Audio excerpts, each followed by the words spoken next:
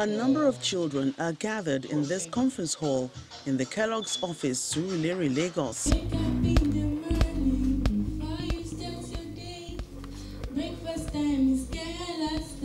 Kellogg's definitely today will be rewarding some of the Nigerian children that you all know. Our support to education in Nigeria. 100 school children who emerged winners in the Kellogg's Superstar Scholarship Competition. Entitled My Perfect Morning made the courts.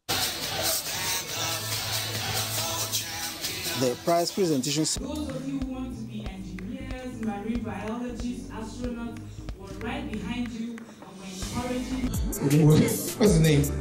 Oh, round of applause. It has reduced the family cost, financial burden. We are very happy and grateful. Breakfast time is Kellogg's time.